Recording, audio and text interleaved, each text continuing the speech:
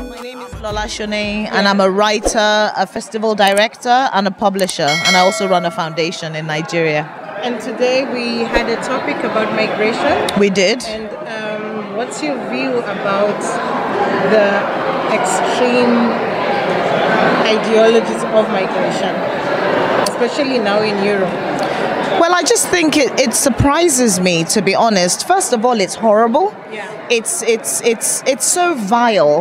Um, and and sometimes I struggle to understand how people do not appreciate. And this is a very you know to simplify it, that movement is one of the most natural things you know to human beings. Yeah. um, and therefore should not be a, you know a surprise at all. And of course people move for different things for economic empowerment. And in today's world it could just be for opportunities. It could be for for a better life. It could be for one's children. So i mean given that i live in africa um, and i live in nigeria um, it would be uh, remiss of me not to mention that um, the way in which I feel that Africa itself contributes to the problem, but of course it's not Africa in it in itself as a continent, and I don't think the, the, the responsibility should be a collective one.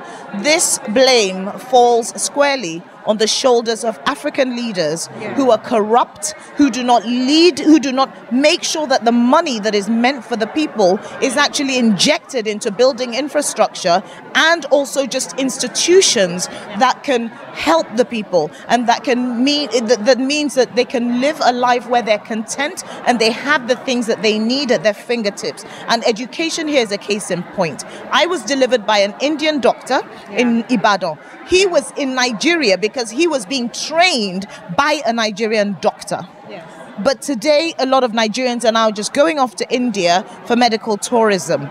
This, we need to stop for a moment and just realize or ask ourselves if we've regressed. And if the answer is yes, if life, the quality of life today, is not quite as good as it was 25 years ago, then it's time for us to really sit down and rethink how these countries are being run and what we can do to ensure that the resources, and these countries are full of incredible resources, are being utilized in a way that benefits the ordinary person. I guess the question is now, with what you have said, who is going to put the bell on the rat? So, who holds the responsibility of ensuring that the government or people are well educated to a point where there is no need for migration in the sense of, let's say, you know, seeking better opportunities Yeah. as opposed to maybe just tourism? Well, in terms of um, how we're going to get to that point where we're having that conversation, Yeah. it's really got to come for, from the people. Yeah. And this is one of the reasons why I live in Nigeria, Yeah. why I feel I must operate from Nigeria. It's because I have to be there to speak truth to power where necessary, but also to be able to say outright where there are issues and where it seems like the country is going backwards. So it's really it's it's down to the people. Enough of us have to rise up and say, you know what, this is unacceptable. It's happening in Nigeria and it's happening all over Africa.